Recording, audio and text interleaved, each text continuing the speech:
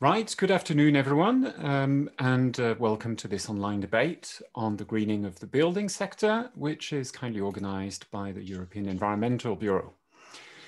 Today's discussion is going to focus on the options that are available to reduce carbon emissions from buildings based on a report that is being published today by the EEB and will be shared uh, on this platform in um, a few minutes. And so among those options, um, probably one which hasn't received a lot of attention until now is to apply so-called consumption corridors to buildings.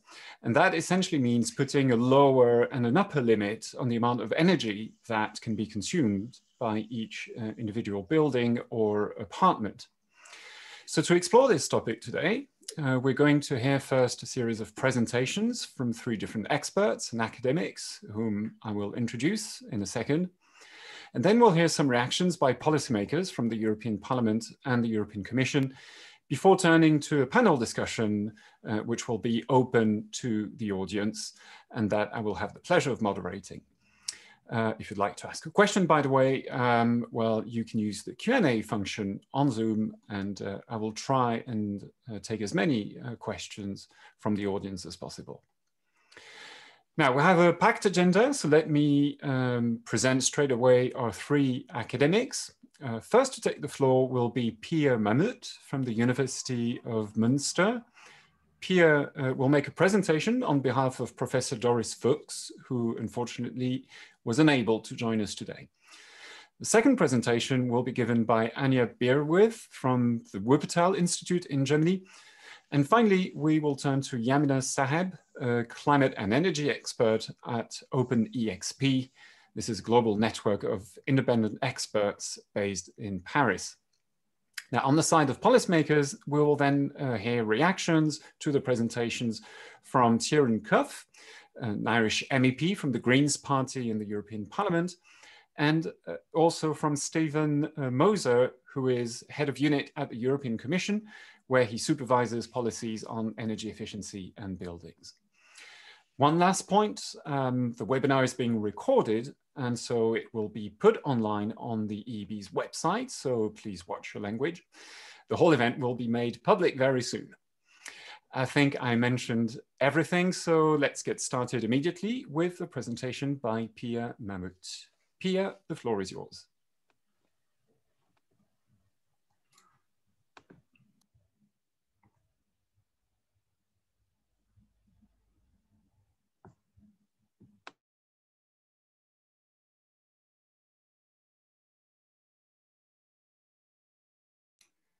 And I think you have to unmute your mic. There you go. Thank you for the introduction. Well, thanks for inviting us. Um, unfortunately, as uh, you said, Doris Fuchs can't be here today uh, for health reasons. Uh, however, she's very interested in the topic.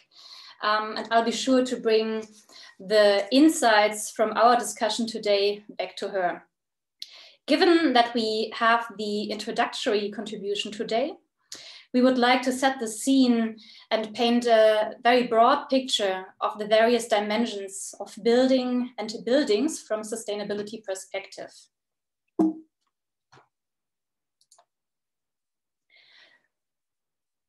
The siting of building may be associated with habitat destruction and almost always involve the sealing of soil. So this is one first point to mention um, that uh, relates to sustainability.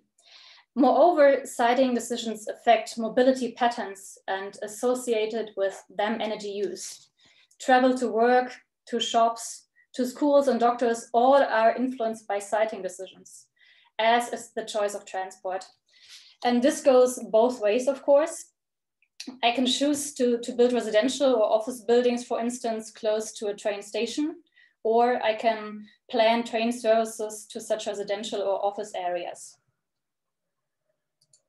The materials used for building have an ecological footprint, as well as implications for energy use, if not health effects during the use of the buildings. Materials used may also be associated with distinctive aspects of social sustainability, depending on how they are sourced and produced. Next, the use of buildings, be it as residences, offices, factories, or what have you, is associated with energy use. Heating and cooling are the major contributors here. Always the appliance use, but also other aspects of technology use, such as elevators, etc., matter. And then there's the post-use phase, where the question is, what if anything happens to the building and its parts? And issues of habitat restoration, material recovery, but also to a large extent material disposal arise. So importantly, and this is what research has shown again and again here, the sustainability implications along all of these aspects are very much determined by structural, political, and economic factors. The individual consumer citizen tends to have very little influence here, and this is true even for the use phase. So what are the, the, the, the current trends that we can observe? Politics has fostered a trend towards better insulation for a considerable time now. And as far as we know, there's um, also an interesting development in terms of more sustainable materials and more sustainable designs, uh, such as, for example, the zero energy house. And also, we are all aware that sustainability considerations, both in terms of habitat and mobility patterns, have become an aspect in siting decisions although not seldom a controversial one. Appliance ownership and use, however, is increasing. And even if appliances become more energy efficient, energy saving tend to be eaten up by a turn to larger appliances or other forms of rebound effects. And there's some hope associated with appliances such as smart meters, of course. And now let me turn to one of the most interesting areas where we see currently developments. And that's the question of size of residential homes. On the one side, there's still a trend towards la larger residences, mega mansions, especially the uh, as especially the Anglo-American literature calls them, and anybody who has seen the residential developments in the US with huge pseudo-feudal houses will understand what is meant. And given that living space is correlated with energy use for heating and cooling, such a trend towards increasingly larger sizes matters a lot. And it's not just these new developments that show this trend. If you go to areas with small residential homes in German cities with the housing market under pressure, you'll find that wealthier families buy up two of the houses and turn them into one, or you will find real estate investors who use houses as speculative objects, often with the effect that houses stay empty because nobody can afford to live in them. And this again increases the pressure for slightly more affordable building sites in the countryside. It highlights that there's also a social and economic dimension involved in these developments as access to small residences for those who cannot afford large ones declines. And next to this trend towards larger residences, we also see a rising interest in small spaces, however, for which the tiny house has become a symbol. However, it's also, it also exists in terms of, of small apartment buildings, um, especially in urban centers. And um, while these movements and initiatives present promising transition endeavors, they still stand at a crossroads between providing sound alternatives for strong sustainable consumption or reinforcing a green growth and weak sustainable consumption path. So um, the question that remains is what happens when we look at all of these aspects and trends from a beyond growth perspective? um, we will recognize the need for, but also the potential for totally different ideas and strategies. We will have to talk about sufficiency, understood as of two types of enough, of course. In the realm of housing, this implies a minimum social floor with, uh, which recognizes social human needs, and a maximum biophysical ceiling. And therefore, we will have to talk about such lower and upper limits, and we will have to adjust the wheels in the system accordingly, from the question of government support for housing to regulations on how we remunerate architects. So let me point out five issues um, as a takeaway that we need to focus on. The first one is limits to size, lower and upper limits to the size of residencies. For instance, or rather focus on a participatory discussion about how many square meters per person are adequate. This issue and its contextual, social, economic, and cultural conditions are already explored and discussed both in science and in politics. And participants to the debate, such as Cohen, Rao, and Min, Lettenmeier, um, suggested, for instance, um, about 14 square meters as a minimum and 20 square meters as a maximum for a single household, or 40 to 80 square meters uh, for a four person household.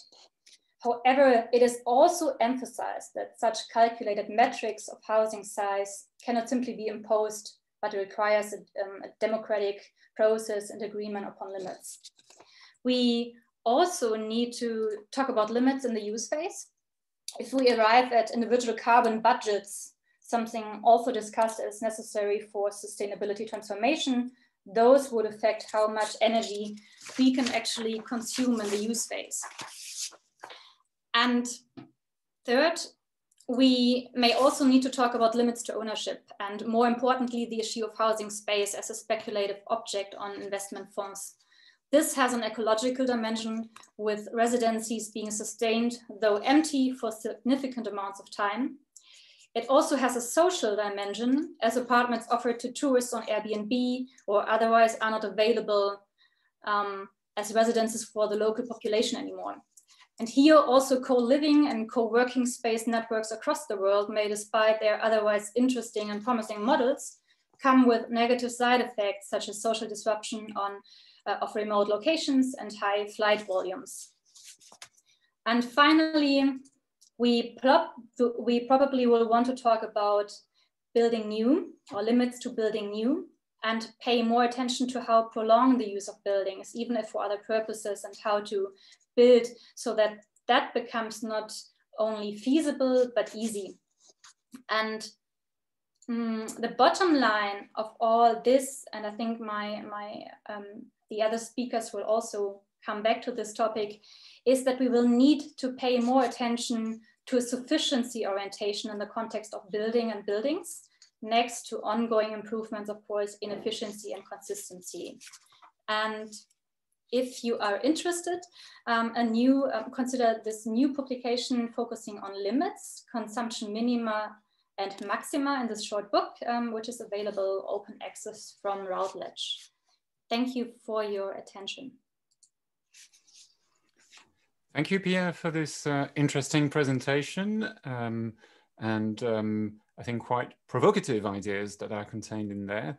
Um, so let me turn now to our next speaker, and that's Anja Bierwirth from the Wuppertal Institute. Yeah, thank you, Frederick, and good afternoon from my side also. Uh, and actually, it the the the, the point uh, where you stopped, Pia, is pretty much perfect from for my start, um, because I'm going a little closer into the the take a little closer look um, into the buildings trends and and uh, the question of how can energy sufficiency be included uh, and, and, and thought about in building and in buildings. Oh, sorry. So um, maybe just very briefly, why are we interested in energy sufficiency in buildings? Um, the left figure you see is um, something that I present actually pretty often to um, to show why we do not have um, any energy savings in the buildings uh, in, in Germany for the last 10 years, more or less. Um, and the problem is that we do see efficiency works. This is this uh, pink line where you see the energy demand per square meter going down.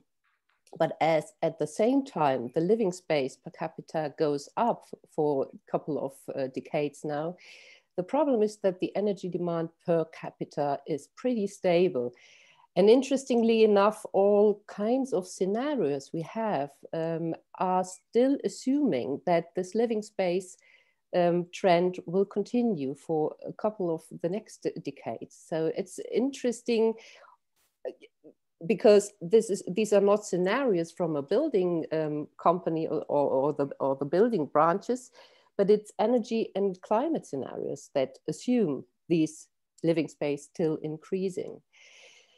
And having a look at um, the European trend, we see that the per capita um, living space is extremely diverse from um, Romania being, I mean, these numbers are not that brand new, but, but still it's pretty much in the, in the, in the range. It is uh, not very diff different today.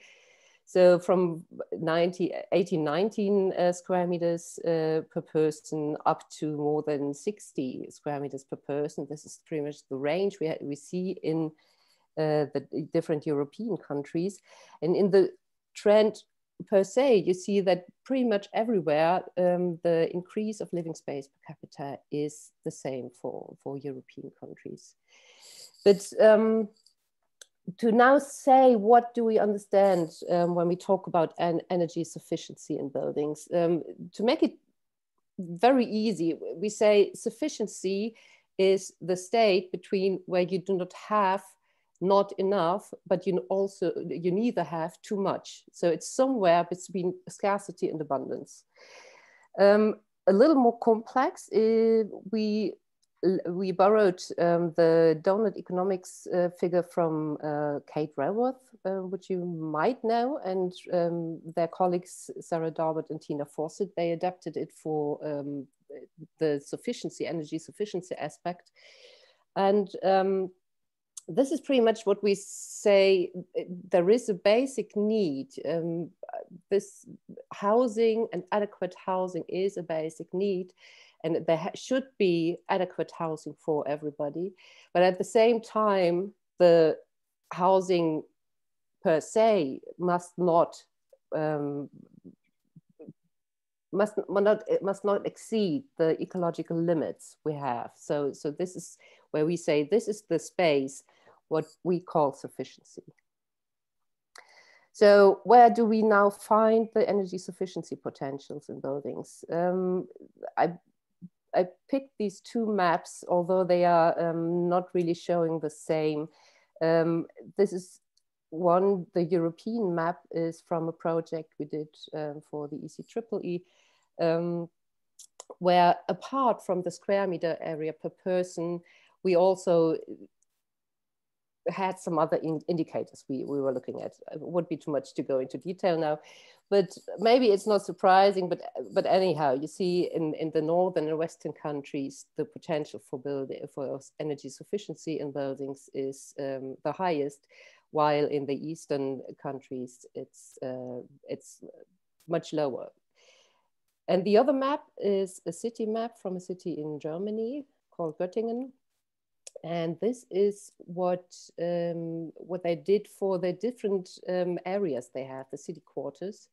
Um, and they had a look uh, how the per capita living area is um, divided in the city. And also this is quite interesting if, um, if you see that also in, in German cities, you have areas where you are close to Romanian um, living space areas. Uh, and in others, we are close to, to Denmark and other countries. So it is not like we have this, you know, it's, it's always an average when we, when we talk about, well, Germany has a per capita area for living as at the moment 46, 47 square meters. But this is really quite diverse if you have a closer look into the cities. So why is this a problem now? Um, we of course, we see some environmental aspects and effects. Um, the, the one point is the daily land use for settlements. At least in Germany, we did not reach our um, interim target for 2020 last year. Um, we also have the problem with um, um, adapting our cities to climate change. The more space we need, the more area we build, it makes the adaptation, the resilience to climate change more difficult, of course. And as we heard before, it's a huge area where we consume energy and resources. Uh, but it also has some social effects and um, especially in the growing cities we have do have a housing shortage so it is reality it's not everywhere also it, this also is quite diverse um, and spread uh, over the country but on the other hand we also see some social effects um, if you go to the people and ask them um, are you content and how far is the size equality and there you can see that a too big house or a too big flat can also be a burden, especially when you, you know, like becoming elder, the physical capacity gets, gets uh, less. So the, and then there's another point also, um, the, the less you have the opportunity to leave your house due to barriers, um, and due to, to the physical capacity that you have, um, people report that they feel isolated. So also this is an effect of these two big and the question of how do we live um, aspect and trends we see in Germany. And then, interestingly enough, um, the, the call for building new is not only happening in the growing cities. But the strategy that we see in shrinking cities is also building new. The reason is that they say if we just propose um, new, modern, um, very likely single family houses, then we attract families, we attract new inhabitants. But of course, as, as you can imagine, this, this does not work everywhere and not all over the place. So uh, we also see that these new built um, developments are rather taken by people moving from the city centers to the to the outer areas and we see uh, this um, yeah these developing donut cities and and, and donut municipalities so they, the, the city centers lose inhabitants and with them their functions and become this donut again. But in this time, it's, it's not as positive as the donut from Kate Raworth, maybe. So um, as I said, there are people who are really looking for more sufficient housing concepts. We do have a housing shortage, but in the same, at the same time and in the same cities, we see these underoccupied homes. And um, we are looking at a couple of um, options, how, what, what you can do if you're looking for more area sufficient or floor area sufficient housing. We are looking at adaptation. So can I adapt my home? Can I separate, for example, a living unit in my home? Um, can I sublet rooms or this single new um, living unit? We are looking at home exchange programs. And we are also looking at um, what co-housing can, um, in how far co-housing can support energy sufficiency in buildings. And if you're looking at it, it it's actually, it, it, works quite well if you come from the circular economy and the, and, and the waste um, uh, slogan, reduce, reuse, recycle. And maybe when with looking at buildings, I would add a fourth R, which is rebuild. So all these are actually is, is pretty much the same strategy to support energy sufficiency in buildings.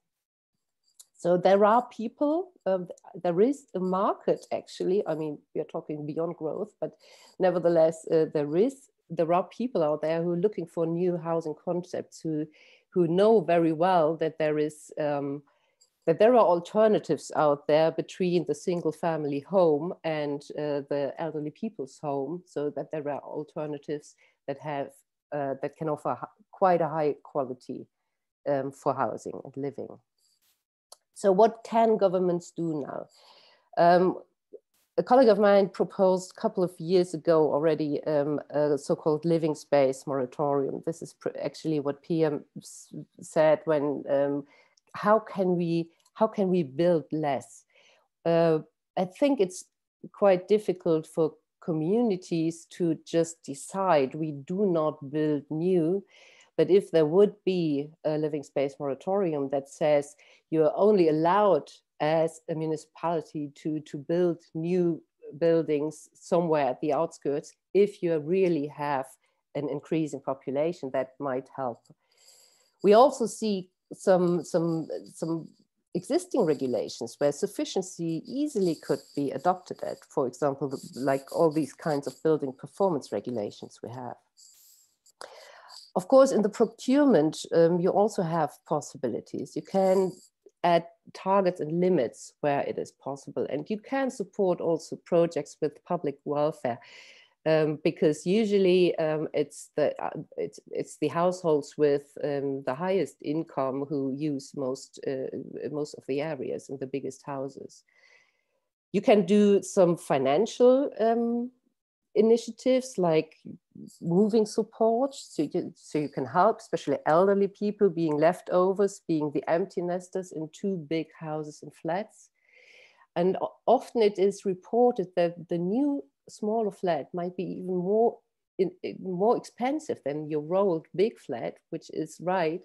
But also there we have programs and, and, and, single examples where you have a rental fee guarantee so that the smaller flat you choose is definitely not more, uh, not more expensive or at least a couple of euros cheaper than the flat you have before. You could also think about when uh, looking at support, financial support programs, you could have programs for density, community, and change of use, for example, which we are missing in, in many areas. And of course, you can do some, some, some public um, aspects of, in, in, municipalities. You can support flat, flat exchange. Um, you can offer advice and campaigns, and you, of course, can do competition and implement pilot projects. So this is, these are some suggestions that I brought today and I promised I'll stick to my 10 minutes, um, though I could talk on this topic for much longer, but I'll stop here. And so I'm open for questions later. Thank you. Thanks, Anja. Um, and I see there are already a number of questions uh, in the Q&A, uh, so we'll, uh, we'll pick a few of those uh, in the discussion that's going to follow. Um, we turn now to uh, the third presentation, which is uh, by Yamina Saheb. Yamina, the floor is yours.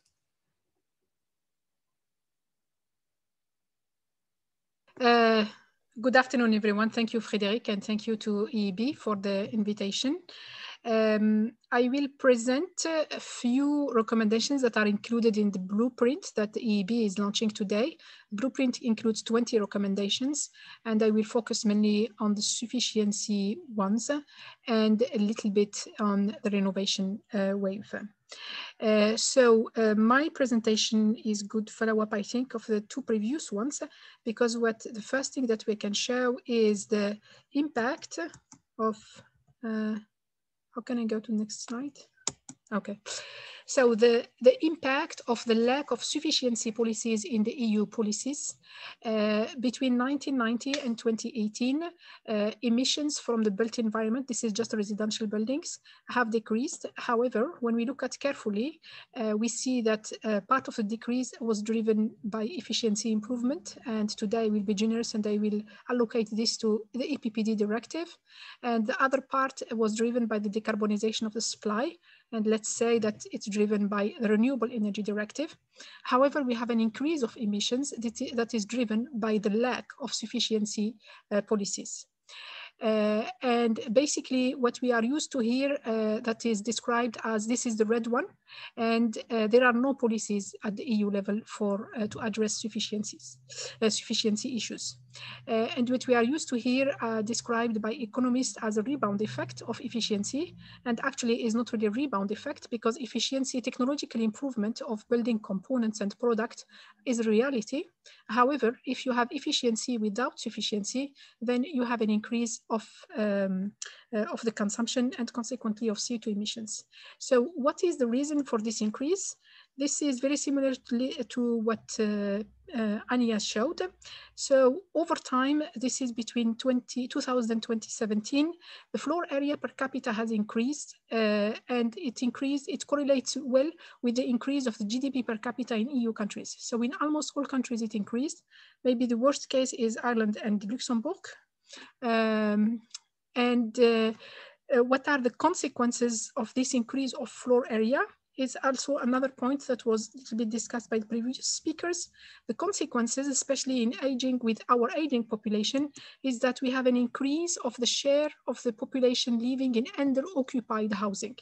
And what you see in this graph is that countries we are used to consider as green, like for example, Denmark, Netherlands, Sweden, these are the countries with the highest share of the population living in under-occupied dwellings. Uh, and in the other side of the spectrum, uh, countries, uh, Eastern European countries or countries with low GDP per capita compared to the EU average are the countries uh, facing the issue of overcrowded dwellings. So we have two issues that are related to this, uh, that are a result of the floor area per uh, square meter. Uh, per, per, capita. And of course, this has an impact on an economic impact. The economic impact is uh, the, especially for the low income families because the uh, those living in um, the high, there is a high share of the population living in under-occupied dwellings uh, that are usually retired people with low pensions and uh, the, um, the cost, the housing cost is very high for them. So it increases the economic uh, impact or economic stress on these families. Uh, and then you see, uh, again, uh, you see a huge discrepancy between EU countries. Countries with low GDP per capita uh, are those where the housing cost is very high for low income compared to other countries. Uh, what, uh, what are the sufficiency measures? Why we are in this situation? Uh, after reviewing uh, almost all the literature of, uh, on sufficiency, I realized that sufficiency policies are non-energy policies. Here a short summary of um, the four sufficiency levels or pillars. And we see that if you look at the last uh, bar, the, you see that the policies that to address these levers, for example, downsizing the buildings, uh, ensuring uh, reuse of buildings or repurposing buildings, uh, moving from ownership to usership, uh, the choice between multi-family buildings and single family buildings, all these issues are not addressed by energy policies. And this may explain why we have in the first graph an increase of CO2 emission that results from energy uh, consumption, which is targeted by energy policies, but not by uh, sufficiency uh, policies. Um, and this, uh, despite the fact that in the EU, we have plenty, we have in total 20, 20 instruments targeting the building sector. Uh, this figure is a bit old, so it's not uh, really updated with the latest instrument that I discovered over time. Uh, but uh, just to give you an idea, we have almost, we have 20 instruments, none of them includes one single measure that is sufficiency measure. I couldn't identify any sufficiency measure in 20 instruments that we have. So it's not surprising, the first graph that I showed is not, is not any more surprising to me after I analyzed uh, the policy instrument. What does that mean from the Renovation Wave perspective? So the Renovation Wave is welcome initiative launched by the Commission in 2020. The aim is to renovate, is to decarbonize the EU building stock.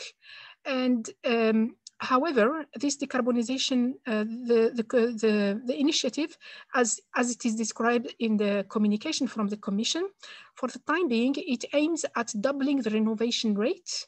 Uh, the renovation rate in, in the same document, the Commission provides different figures for the renovation rate. And the renovation rate that makes sense, actually the only one that makes sense from decarbonization perspective is the decarbonization, are the renovation rates related to uh, deep renovation, even if deep renovation is not zero. But let's say this is, this is the most ambitious one. Unfortunately, this one is uh, the rate of this renovation is zero, it at 0.2%. So this means that by considering that we have 220 million, as considered in the communication, we have a little bit more buildings, but this is what the communication from the commission considered. By doubling this renovation rate, this means you end up renovating every year 880,000 homes. 880,000 homes, it's not possible to get after 10 years because the same renovation uh, wave document includes two figures, doubling the renovation rate with the aim to achieve, to, to, uh, to, uh, to, uh, to reach 35 million of buildings renovated by 2030. 35 million by 2030, this means we have, we need to renovate 3.5 million per year. And actually by doubling the renovation rate, the renovation that makes sense, the deep renovation, we are at 880,000. So we are, we are below what, what is needed. So the first thing I think what we need to do is to ensure consistency between all the figures. The commission needs to ensure consistency between all the figures and ensure above that, if you look at the, the green part of this uh, figure, is to make sure that the renovation wave is aligned with the Paris Agreement, which is not the case at all. So the Paris Agreement introduced the concept of the 1.5 degree target, and the IPCC 2018 special report translated this 1.5 degree target into carbon budget. Based on this work from the IPCC, we know that if we continue to emit emissions like we have done uh, before the, the COVID crisis, so we know that uh, the carbon budget will be depleted by 2028. This means we have, if we are to be Paris compliant, this means that the building stock, the EU building stock should be decarbonized by 2028. And in this case, it means that we need to renovate 33 million homes per, per year. We are not at all targeting, we are not at all aligned with the Paris Agreement. Uh, so this issue, this, this is an important, this is a huge issue actually, because the, the 35 million building units that the commission is talking about include uh, shallow renovation or basically just replacing your boiler or replacing your window. And this is not going to be uh, to align us with the Paris Agreement. And then uh, how to how to include sufficiency in policy in policy making in the EU and why it's not included because sufficiency is about the well-being of the people and the current policies are not really about the well-being of the people. They are about more profit more growth uh, for those taking advantage of these policies. And one evidence from that is uh, so the renovation wave initiative the commission launched as usual uh, launched the stakeholders uh, uh, stakeholders uh, feedback, ask stakeholders for feedback on the innovation wave. And actually, when you look at uh, the stakeholders feedback, uh, the commission received 187 feedbacks and it, everything looks perfect, except that when you realize that actually citizens, you have only 6% of the feedbacks from citizens and the rest is from what I consider as corporate and their allies. Because for example, if you take NGOs, those labeled in the commission report as NGOs are actually think tanks funded by, uh, by industry. And it's not surprising at all to see that the, one, one of the major proposals from the stakeholders is to introduce MEPS, Minimum Energy Performance Standards, which is uh, an instrument advocated for by industry. And this instrument basically uh, is about renovating uh, buildings from a step-by-step -step, uh, process. And we, as, I, as we have seen in the previous slide, uh, we need to renovate now 33 million homes per day, uh, per, per year, sorry, at the zero level, at the zero standard. And with step-by-step, you cannot reach zero in seven years. It's impossible. But this is what we have. And unfortunately, uh, I am uh, quite sure that uh, the MEPS will be one of the proposals in the impact assessment uh, from the Commission, but I hope that the Parliament will stop it. Uh, and uh, my takeaway from all this work is that to ensure that all citizens are, are living in um, uh, the houses they deserve to, to live, we need to make out of principles 19 and 20 of the European uh, Pillar of Social Rights and enforce enforceable rights. So in some EU countries, it is, it is a right, but not enforceable right. It's the case, for example, in France. And we need absolutely that the package, the 55 uh, package that the Commission is working on needs absolutely to include sufficiency. So moving from efficiency and renewables, which is just technological solution, to the CIR framework, which is sufficiency, efficiency, renewables. And given the number of instruments that we have for buildings, to ensure consistency between all the requirements, I really advocate for uh, sustainable building regulation above all these instruments uh, to be able to renovate Europe. Otherwise, uh, we, we are not going to uh, decarbonize the building stock.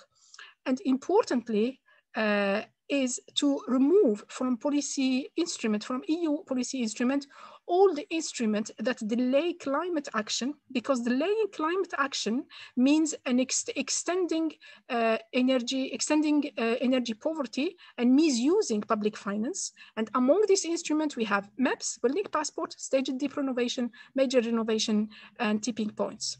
And finally, to make this happening, we need an EU citizen assembly because citizens are the only ones who work on their well-beings.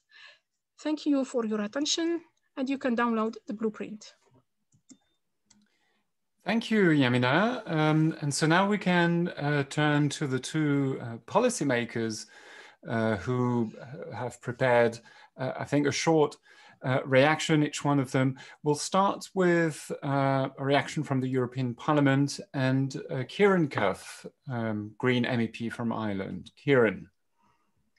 Well, thank you and uh, good afternoon. I was really struck by all three presentations. Uh, my own background um, prior to being in the European Parliament, uh, I'm trained as an architect and as an urban planner. So I was particularly taken by uh, Pia Mamut's uh, initial discussion about the siting of buildings, uh, but also the wider issues about limits on the size, use, and ownership. And that kind of point was taken up by Anja as well when she talked about under occupation. Uh, and then finally, I think a very sobering presentation uh, from uh, Yamina talking uh, about even the ambitious renovation rates of 880,000 units per year being absolutely inefficient to keep us in line with our, our Paris goals. And this is the dilemma I face every day of the week as a parliamentarian. I would imagine that my group, the Greens European Free Alliance group, are probably more ambitious on climate than any other group. But yet, within the parliament, we cannot get a majority for action at the speed and pace uh, that is needed. So it's somewhat challenging. But, you know, we can argue about the numbers. We can argue about how many, uh, you know, 55%, 65% reductions by 2030 or 51.8. We're not doing enough. But the grain of measures that are needed is where the real arguments are the, the challenges that we have in many properties being under-occupied and yet many people living in overcrowded uh, accommodation. This is where I think the different legal instruments that we put in place will be of real interest to try and get more optimal use of the buildings that we already have. I think some of the possibilities that were touched on, uh, the crazy um, residential home sizes, the McMansions, I just think it's very hard to get political buy-in to limiting the upper size of residential units. I'd love to see it happen, but I think within the um, Overton window of politics, it will be difficult to control issues uh, like that. And yet, over the last two years, within the political frame, there has been huge changes. I think the European Green Deal was unthinkable under the previous European Commission and Parliament. So the level of ambition is much higher, of ambition is much higher than we saw before. The level of ambition from the new uh, US administration stands in sharp contrast to what we saw under the previous uh, US president. So the ground is changing quite significantly. And we know over the next three months, we will see proposed revisions of the Energy Performance Directive, the Renewable Energy Directive, and by the end of the year, the Energy Performance in Buildings Directives. So there is the possibility for significant change. And I know from the kind of discussions I've had with financial institutions, the European Bank for Reconstruction and Development, the European Investment Bank, the European Central Bank, and even the private lending houses, Blackstone, the banks here in Belgium and elsewhere, they want to put money into renovation. And they are saying very simply to group to meetings that I'm in, we have the money. What we need is a level of certainty in terms of return on investment. That return doesn't have to be high, but it has to be there. And I think we all need to focus on how we can make it clear that renovations can deliver a good rate of return, and I think the money will flow. But the other points that were made here as well, we need to improve the skills base. Uh, so we need uh, training uh, for everyone working in the built environment. We need to appeal to ordinary citizens. That, that, that point, Yamina, that you made that only 2% of the submissions were from actual citizens. Well, I think we have to look towards those regions in Europe where we see successful citizen led renovation uh, initiatives, the one stop shops, the places citizens can go to uh, to get advice. And citizens do need to be at the heart of the renovation wave. They are in the Czech Republic with the New Green Savings Initiative, where the government uses uh, funds to incentivize and finance uh, renovations. That's a real success story. And we do have to focus on energy poverty uh, because we've all we're all familiar with the figures on how many people have their fuel disconnected every year, how many people are leave, living in leaky buildings. Very simply, we need to target our social housing and our public housing first. We need to bring in the deep renovations there to bring in the A-level renovations for those who will benefit most from it. People living in overcrowded conditions, a lack of ventilation. You know, in these times of COVID, a deep renovation improves the ventilation, it improves the indoor air quality, and it lowers the fuel bills. And above all that, it reduces the carbon footprint. So there needs to be a, a big focus uh, on that. And I would always say that the revision of any of these directives, it needs to be socially and environmentally just. There's no, there's no um, saving the planet without improving uh, the quality of people's lives, particularly those who are facing challenges in paying the bills at the end of the month. That's why we say the minimum energy performance standards are important. Uh, they, they will target the worst performing buildings. The building renovation passports uh, always, uh, also help uh, with all of this.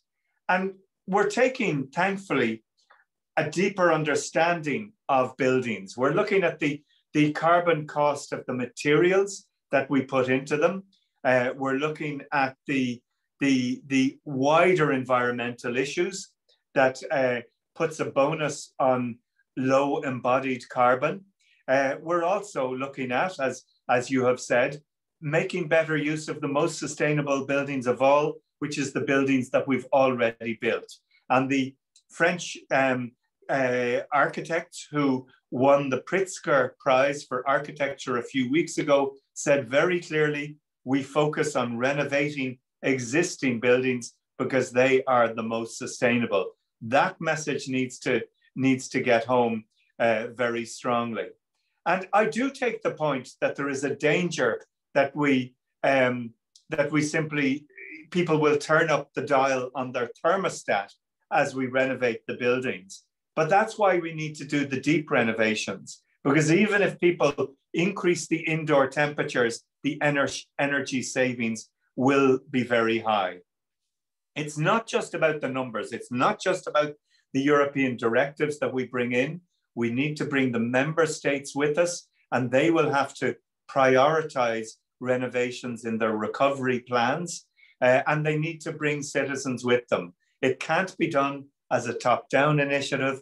It has to start with ordinary communities working together with local, regional, and national governments to make this happen. So we need action at a European Union level, but we need action within the heart of communities. I leave it at that, and I'm happy to comment further as questions arise. Thank you. Thanks, Ciarán. Uh, let me turn now for a reaction by Stefan Moser from the European Commission. Thank you very much, uh, Frédéric, um, um, and uh, to to Pia, Anja, and Yamina, and and also Ciarán for their for their for their um, contributions and and what they said. Uh, very interesting, uh, definitely, and it's uh, very important to think about these various aspects in in depth. Um, I, I would agree very much with with Karen uh, and also several statements done previously that we we need to prioritize renovations over new builds. Um, it's clear we we we need to reduce the impact on the environment as much as we can. And uh, for that, we, we basically should not create any further damage, but rather uh, repair, renovate what we have.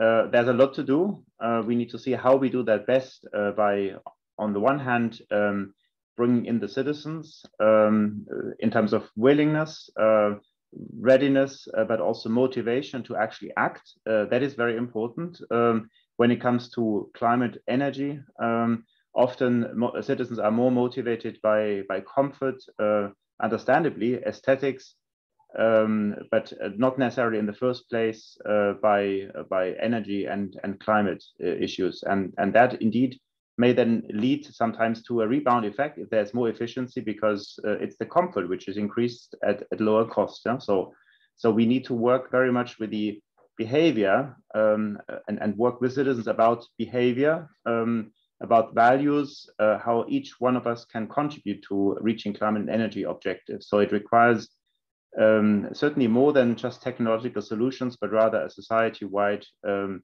uh, movement and approach. Uh, that is that is indeed uh, very important.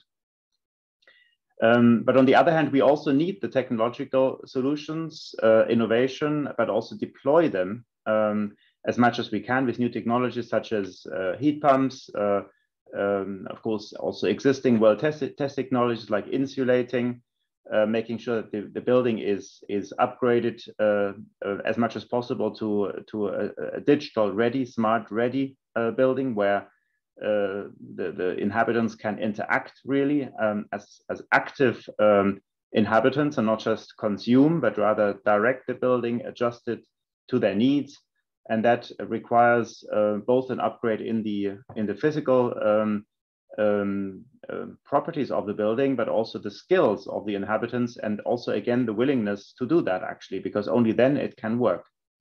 Um, we need to create awareness uh, about the key data in a building, so that actually the inhabitants are able to to measure and then also uh, show interest and develop interest in in, in regulating their home, for instance, by looking at the temperature, what it means if you would turn down by one degree, etc. So there are devices for all that, uh, but there needs to be firstly the technological readiness and then also the, the, the psychological readiness to use these information, uh, these pieces of information. Uh, and then, of course, we have the money side. Um, we, we are, it is pretty clear that uh, only part of uh, the the advantages um, and benefits from renovating will will be captured uh, as a private good, in particular when there are complex housing uh, structures in, in multi-apartment buildings uh, where you have tenants and owners, etc.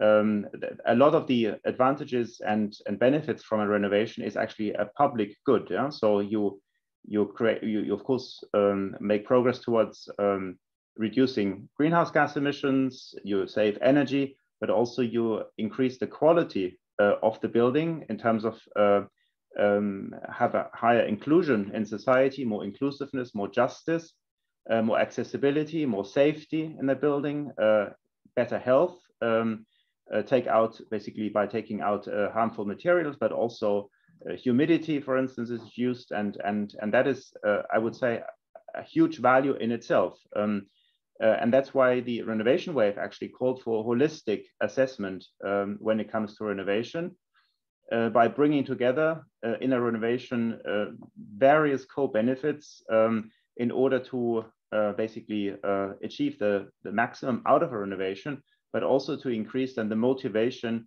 to actually carry out a renovation because then you, you really are convinced that it's worthwhile going through the trouble, through the pain, uh, with all the dust and dirt and noise which which comes along with the renovation. And of course, then there's there, there are multiple benefits from the money invested.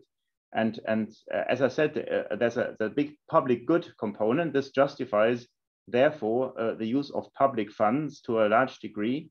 uh, in order to create basically in the end a better society. Um, so um, only part of the money can be uh, can be um, directly.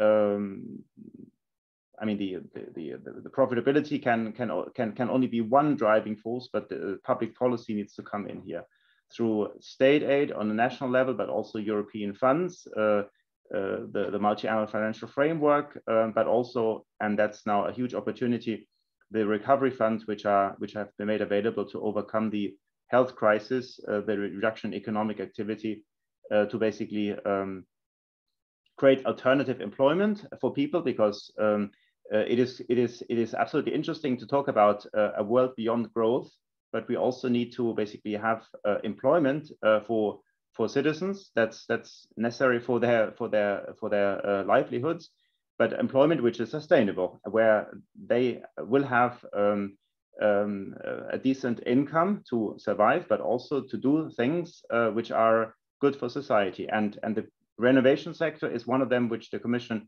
and of course in agreement with the Parliament and, and I think member states and civil society has identified as one which can really uh, provide an opportunity for employment uh, for the next generation, for the for now, but also I would say for several decades, um, where we need to do things which have to be done in any event and where we have to do much more than so far, where we have to upgrade and therefore can take in people who can be upskilled, reskilled from other sectors, uh, which may not um, have the same level of activity in the future through change of lifestyles, but also structural changes following the the uh, the, the, the, health health crisis from COVID. And that is basically what we need to do. We we we have to to upskill and, and train people who may have only partial knowledge for now, what it takes to really renovate in a sustainable manner the buildings which we need in the future, um, and also create full awareness of the technologies available, what it takes to make them successfully deployed, such as heat pumps, for instance, renewable energy, um, and of course then also for the users, as said at, right at the beginning, uh, what it takes to be an intelligent inhabitant of a building, a responsible inhabitant in a building, um, and that I would say includes also in a broader dimension, uh, the, the readiness of people to move, to be more mobile in the future. This will then uh, lead to a more uh, efficient allocation of buildings uh, to the uh, over, over the lifetime changing needs of the inhabitants. Uh, typical thing is a single person, then you create a family, um, you, you have children, you need a, you move in a bigger house and that's that's usually happening because you simply need more space for the children but once the children move out many people get stuck and stay there until uh, well even well beyond the time the children will have moved out of the house you have sit in a much too, too large house but you stay there. It is a psychological phenomenon. You don't want to move.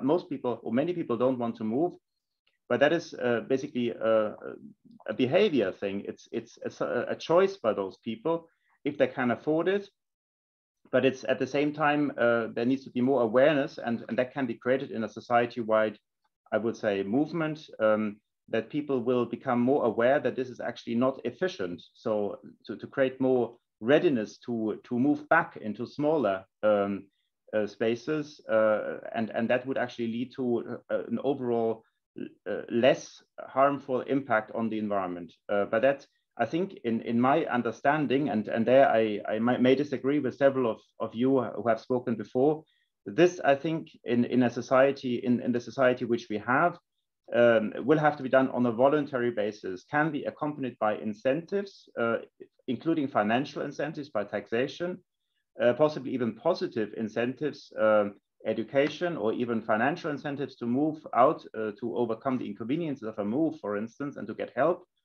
but it cannot be ordered. So I think it, it may it, it, will not be possible, in my view, to have upper limits, for instance, on the living space. Uh, you can create disincentives financially, but not upper limits in, in, in the sense of you have to move out, you can't stay there. Imagine someone uh, uh, remains alone after the family life and the partner may have died, and then you are told you have, have to move out because your house is too big. I think this is simply one step too far.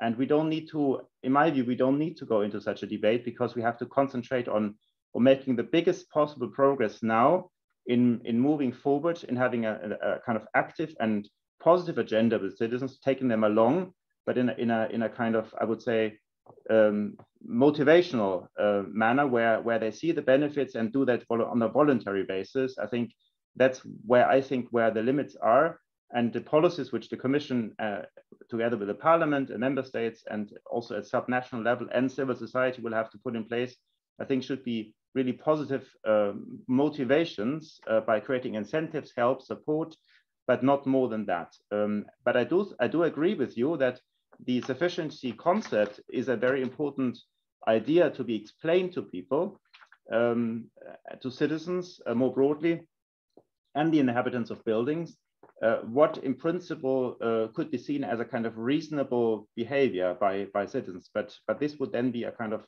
voluntary choice by each and every one, depending also on their financial abilities, etc. Um, that, of course, I think is, is important. You, ha you have taxation, of course, for, for heating fuels, for instance, you can make sure that it becomes more expensive in terms of taxation if you live in a large house, but that's probably as far as I would see uh, um, you can go and, and that not at the European level. This is really a national domain also. So it would not be, cannot be taken forward by the commission. Um, some other aspects very briefly, briefly I, I very largely agree with, with. Uh, we have also worked hand in hand uh, between the parliament and the commission. Um, it's very important to work uh, on a, with larger groups of people. So you cannot really make the renovation wave a success if you work just one by one individual buildings. You need to create types of buildings, uh, standardized solutions, but also work um, with neighborhoods, uh, energy communities. Um, you, you have to basically create package solutions also uh, for the very fact that it may be too difficult for individuals to do it all. And, and, and then this would not lead to the necessary volumes of renovations and also would not achieve the, the necessary depth of renovations. You have to uh, professionalize, you have to share the costs of professionals amongst many people in order to really make this happen. Otherwise, it's prohibitively expensive. And if you don't have professionals, it simply will not happen because people are overwhelmed. Even with one-stop shops, they may not be able to, to get through this from the motivation or the difficulties. You have to go to the administration to ask for a permit, the architects, the technical questions, financial questions, all that.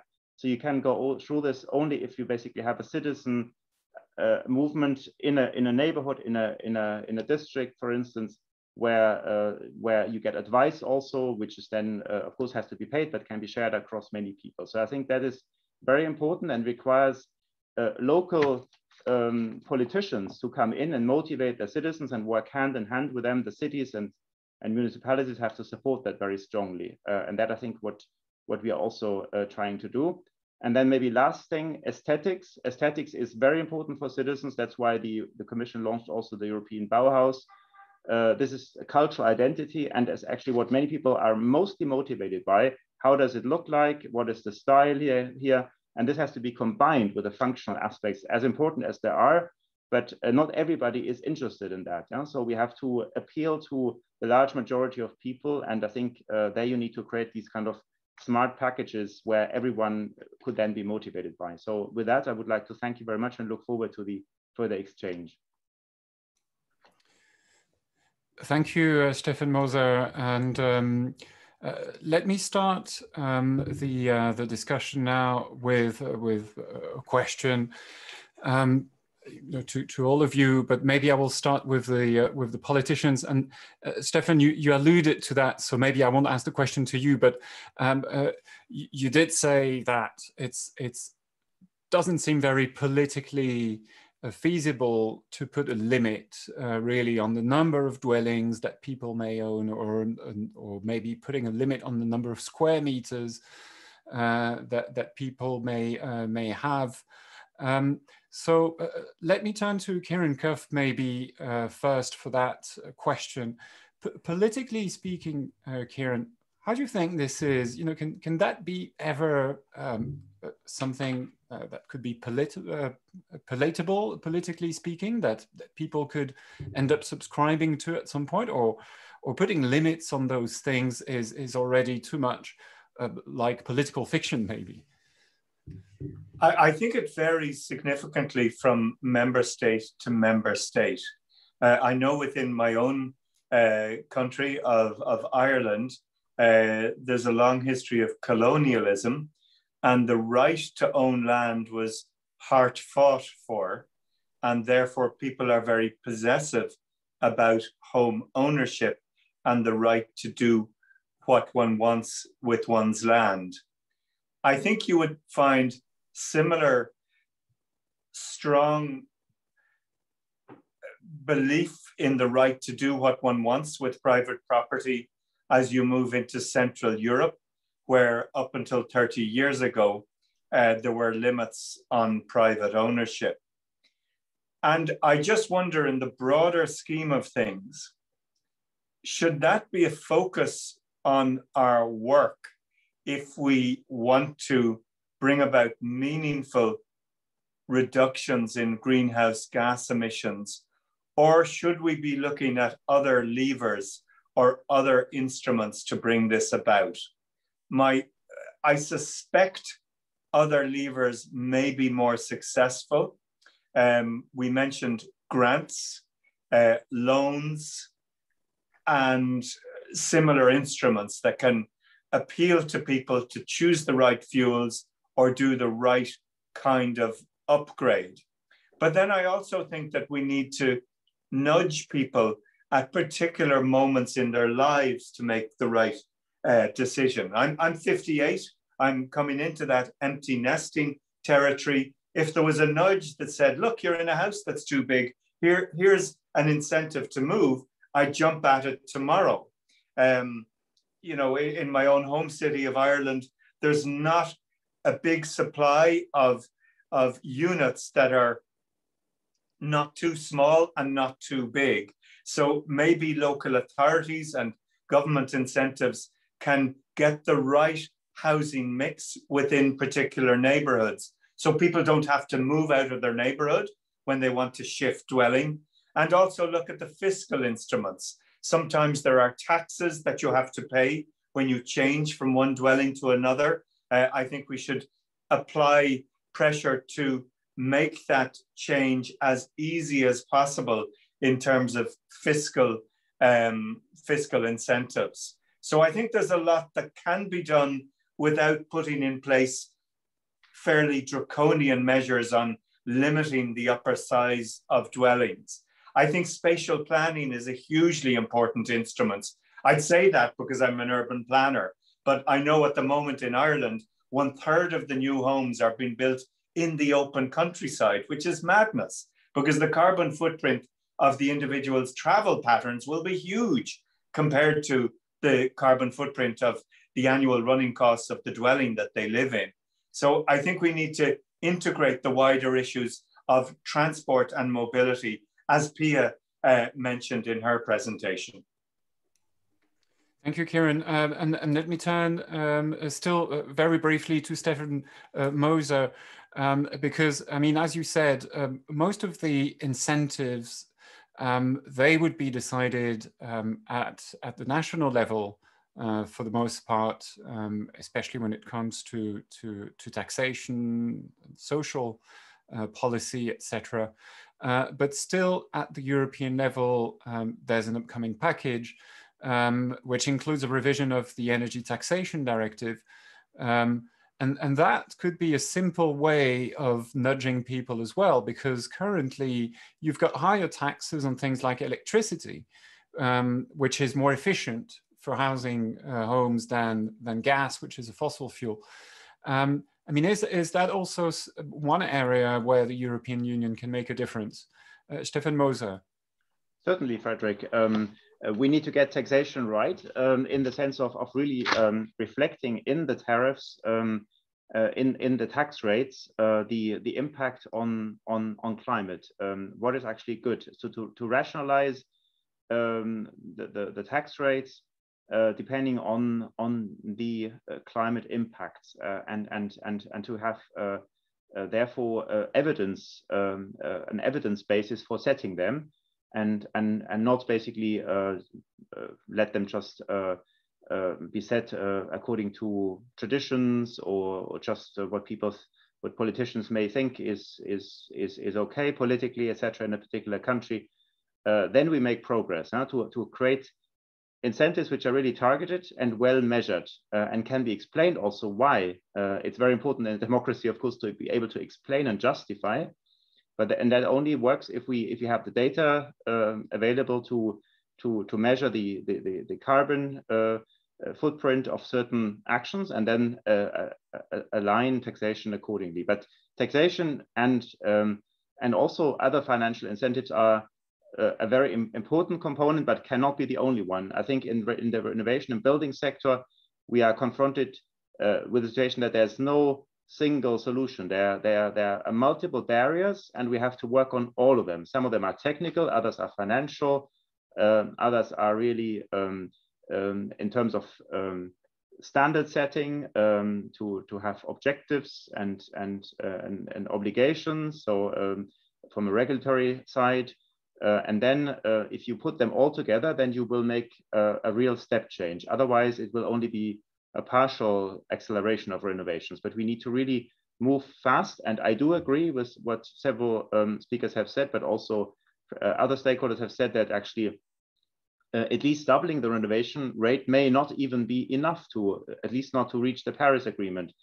Uh, we of course also captured in between what in principle we should be doing and what we consider to be realistic, because we also have to work um, not only with the people, but also with the construction sector, the renovation sector, the financial means available. And, um, and, and we, are, we are somehow working under several constraints. And I think here in, in the EU, but also at the national level, um, the governments and, and the legislators are called upon to, to develop uh, ambitious but also realistic policies. So that is uh, even if, and, and then of course we have to see if we if we feel that we won't get far enough, how can we accelerate? That requires a deeper debate, but it's uh, it's I think equally harmful to to to put in place frameworks, for instance, which would simply hang in the air and would not be grounded uh, in the sense of of being um, of, of dragging along people uh, in, in, in, a, in, an ambitious but still realistic manner uh, that you would have the means absorption capacity of the of the renovation sector for instance and all that. So that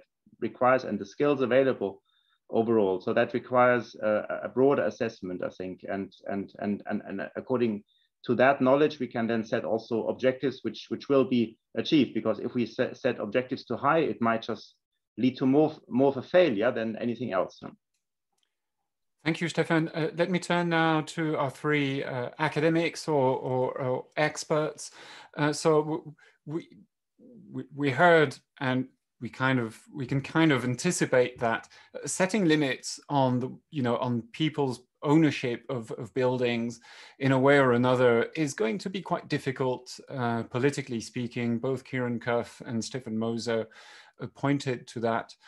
Um, is that something that you that you accept, that you recognize, and and have you thought of maybe um, ways to to nudge people towards uh, the objectives that you outlined, but without putting such like strict policies that would limit um, uh, people's uh, freedom, um, um, after all, to to do what they want. Uh, Pia Mamut, maybe a, a reflection on that. Yes. To begin with, um, personally speaking, I can very much um, um, recognize what has been said about about the difficulty to to have upper limits, especially if we think of such upper limits as being enforced politically top down. And this is nothing that I had in mind when I introduced this idea of lower and upper limits. I was more um, heading towards what Anja pointed out, that this is about finding this range between of not having enough and maybe using up too much. Um, and this uh, process of finding, finding this range is a participatory process. And this is um, also something that I want to underline. And Yamina said it also, she showed it with her uh, figures. It is very important if we talk about upper limits, lower limits, that we have this dialogue, that we have real engagement of the citizens. And I don't remember who exactly said that, but I like that very much. That means not to start in, a, in the political arena on the European Union level, but really to have this process started in on the local level and to, to make it interact with different policy levels. So I hope to, to have made this clear. Um, that's uh, very important for me. So here I very much think about co-creation. That means um, investigating what are people's needs and uh, also make them reflect on what their needs are. And I, when I talk about that, I don't have in mind to directly confront one particular lifestyle because I wanted to point out as well that even if we think about tiny houses as maybe some positive symbol, there are many particular motives involved with tiny houses that make these houses very attractive to, to individuals. And even tiny houses involve um, um, in, in areas that are maybe not ecologically speaking uh, very smart uh, decisions. So they involve long um, car rides, for instance. That these are all things that show how complex such such lifestyle choices are and how important it is to, to engage with the people and to, to talk about such needs. Um, and I think um, one positive project, project example that I have in mind is um, a project in Münster, that's the city in North Rhine-Westphalia in Germany where I live. Um, it's um, a cooperative that addresses mixed social needs and uh, it's trying to create a space for for culture and commerce co-living co-working and i think um, although it's not enough time here to present this project for me this project really shows how important it is to to make such uh, such new types of co-living attractive to people and this is something i want to conclude with as well mm, it's also about finding attractive narratives, um, narratives that people can identify with, such as um, narratives of the good life, of social justice. And I'm not talking um, about the social justice globally speaking, which is very important, global responsibility, but also the social justice within cities. Uh, I think Anja pointed out how diverse these city centers are to begin with. So I think thinking of sufficiency in, in relation to what can the good life be uh, and in rela relation to social justice is a very good way forward. Okay, uh, thank you, Pia. And uh, let me turn now to uh, Anja Bierwirth, uh, with um, actually a prolongation of the answer that Pia uh, gave. Um, and uh, this notion of, um, of sufficiency. Um, and actually, there was a question from um, one of the people in the audience who's asking what you actually mean by a sufficiency-centered approach. Um, and the question is, uh, do you see this as some sort of a top-down process that could be determined by regulation, so with a, a minimum and a maximum, uh, and how can this be made uh, equitable? So do you see this more as top down or, or like Pia said, do you think this needs to be uh, um, a, a, collaborative approach, something that Ciarán Cuffe, I think, also mentioned? I wouldn't say it's an either or um, question. You need both. Um, and starting with the, with the limits, we do have a limit on European level we do have the target of net zero land use in 2050. So how to reach this without limiting anything with regarding to new buildings and new developments and new settlements. So this, this is something that I find, find quite interesting. And I'm not saying that you shall regulate the size of a house for, for, for, for, for a single person or in general. I think that the regulation um, should at least um, think about where is what needed. And this is what, exactly what I mean by sufficiency. There are people who are saying, I'd like to live on a small, in a smaller area, in another kind of housing concept. I'd like to leave my home to a family. We are talking so much about um, I don't know, 60% of German younger people are dreaming of single, single family houses. This is something that you can read each year when this new um, survey is done. And I never read any article about who wants, how, how of the percentage, who wants to move out. This is something that, this is the data we, we, we do not have, but in our surveys, we see 20 to 30% of the elderly would like to move out. But for them, there is no alternative given.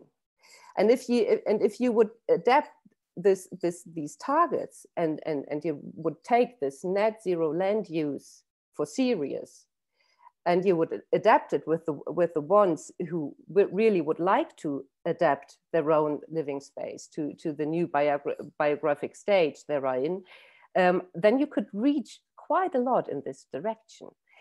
At the moment, we have the situation that um, you can build the, the most efficient building, uh, passive house plus energy house right next door to an not a non and renovated um, empty or underoccupied building right next door which is in my eyes completely inefficient use of finan uh, financial subsidies because you know it, it would make so much more sense to build something that helps this person being completely overburdened in this almost empty house and give this older house to the family who is looking and who's maybe now building a huge new mm, plus energy single family home. So, so this is what I mean. You know, this is the regulation we have right now does not take this in account at all. And, and this is what where we need a top-down approach. We just need to who is living where, how, where is the potential, and also from the top-down approach, we do see there is a need for it. This is this is the strange thing about it, you know. And this is something where I think um, first of all, we do have this limit already. I think this is something that most people do not think about. We are all talking about climate uh, targets, and you hardly hear anything about this, this land use target. Um, second is start with the ones who are willing already. You do not have to, to, to, to approach, you do not really need advice or, or, or convince people because there are 20 to 30% of the elderly out there already who would like to move. This is the interesting point, but for them there is no offer. And third is um, if you would help people move by, for example, um, giving them an interesting or more comfortable housing concept right next door, um, if you change um, your, your, your, your, your house. And if, if, if you move in new, this is the, the first year is a window of opportunity for renovation. So by, by really trying to get more mobility into the change of houses, you also could increase the renovation rate, interestingly enough and then yeah and then fourth is um, i think we need to to to talk about more um, not so much um, about uh, do you want to forbid people how to live? No uh, we want to to to to help people to live adequately. So so i think this is these are maybe the four points i'd, I'd see there Thank you, Anja. Uh, let me turn to uh, Yamina Saheb. And uh, there's a question um, uh, for you uh, coming from the audience, and that's from Adrian Joyce from the Renovate Europe uh, campaign and, and EuroACE. And so he's asking um, you to explain why you're not um, in favor of minimum energy performance standards. Um, so can you please elaborate a bit on that? Um, and maybe you can say a few words also about the need for a top-down versus bottom-up uh, approach and, and whether uh, you know there's there's um, political acceptance uh, you think for potential top-down measures uh, I was hoping that uh, the COVID-19 teaches us all that there are top-down measures that become acceptable when we face emergency and I was hoping that it's clear for policymakers that we are facing climate emergency and biodiversity emergency. And after the COVID, we will realize that we will face economic and social emergency. So we have fourth emergencies to deal with. And I am still hearing that we need incentives and we need grants. So for me, it's just a disconnect between the reality of the world and what policies are going to, to do. And it's really unfortunate for the EU because we will for sure lose the climate leadership. And I would recommend to the policymakers to get in touch with their counterpart in Japan uh, for the sufficiency concept, because Japan is one of the countries where the the holy concept of ownership of houses is completely abundant. They now they face a different situation uh, because they have uh, the population in Japan, the aging population uh, is more important in Japan than in the EU. So now they have uh, another issue, a new issue that we never faced before in developed world, is the fact that uh, houses are abundant. People cannot live anymore these, in these big houses. They just cannot afford and they're not interested in renovating them. And this is unfortunately what will happen in the EU if we don't take action now and if we miss this renovation wave. One last point about the renovation wave and sufficiency concept is that the renovation wave should not be just an energy renovation wave. It's not really labeled like that by the commission, but in practice, it is seen like that. And most of the work is related only to energy because energy consumption is not what people are interested in. People are interested in uh, well-being, in their well-being. They are interested in having um, uh, well-heated homes, uh, well-cooled homes, etc., and not in the energy consumption and functional homes for their needs. And this is missing currently in the renovation wave.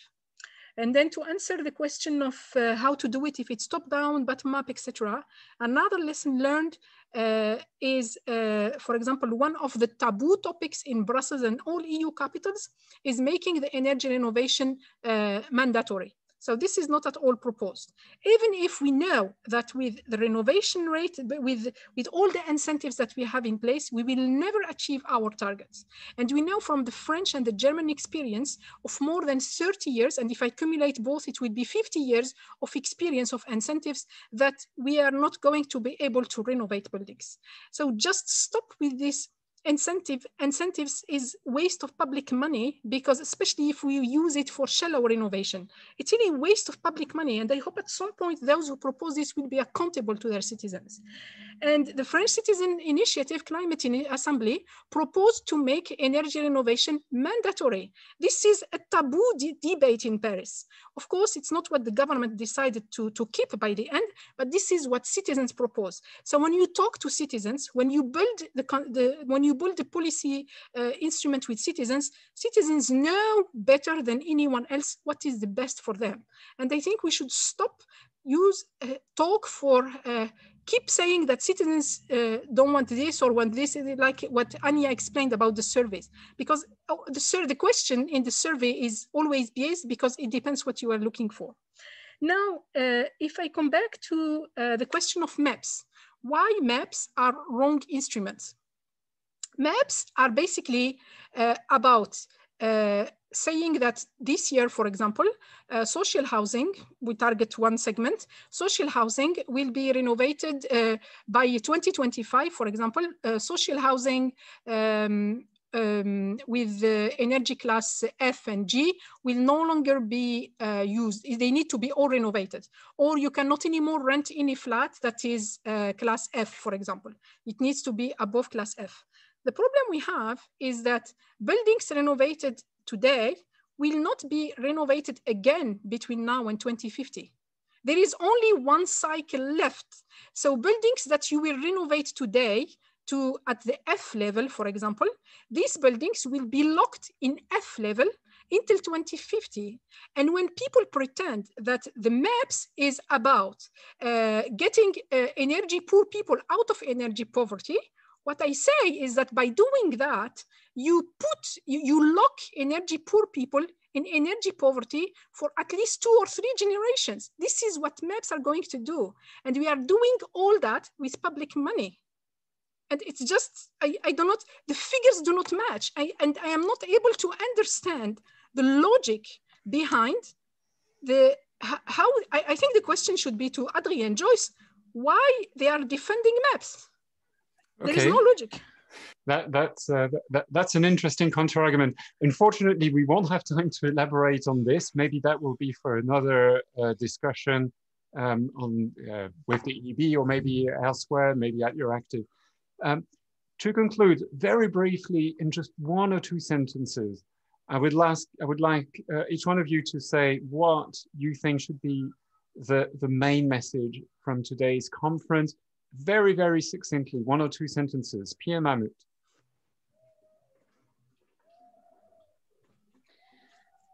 The main message should be really to to make sufficiency a focus and to take care that it's not being watered down in the package of or in the mix of other measures to really push this um, this agenda forward to bring it into the political arena um, and to connect it to positive engaging narratives Okay, thank you very much. Uh, Anja Bierwirth, um, in two sentences, the main takeaway message that you want people to um, take home with them from this conference. Okay. Yeah, two messages, two points maybe. Efficiency and sufficiency perfectly match together. Um, they, they, you, you, really should connect them.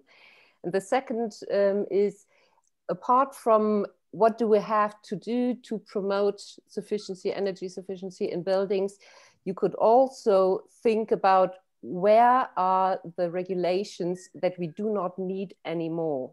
So we really have to deregulate things that trigger building and new buildings and more land use and more energy use. And if you would deregulate in many ways, that would also help. Yeah. Okay, that's uh, an interesting thought. Yamina Saheb, just in one or two sentences, your main message from today's. I will be short, so I will complement what Anja said. Sufficiency, efficiency, renewables. This is the SEER framework, and this is the future. If we would like to renovate Europe, and if we would like to work on the just transition, we need the SEER framework. Over to you. Ciarán Cuffe, your main message. Yeah, I think we have to increase our ambition, and that came out clearly from Yasmina's contribution. But we also have to work with legal instruments that work. In my own country, we have a tax on vacant sites and buildings, which has risen to 7% a year. That is an effective fiscal instrument that pushes empty sites and buildings into use. And I think it's a good example of a measure that works that isn't covered by the directives we're discussing. And the last thing I'd say is we do need to go for deep renovations. As Yamina said, we only renovation, renovate once in a generation. We need to do it right. Thanks, Ciarán. Stephen Moser, your main message from today's conference. Thank you very much. Um, I think we need um, a framework which looks at, at the, all, the, all the different barriers, um, uh, information, um, um, financial, technical help, uh, etc., but also a holistic agenda. And when it comes to sufficiency, I think uh, there we need to build on a voluntary concept and, in particular, enable citizens to be mobile um, over their lifetimes.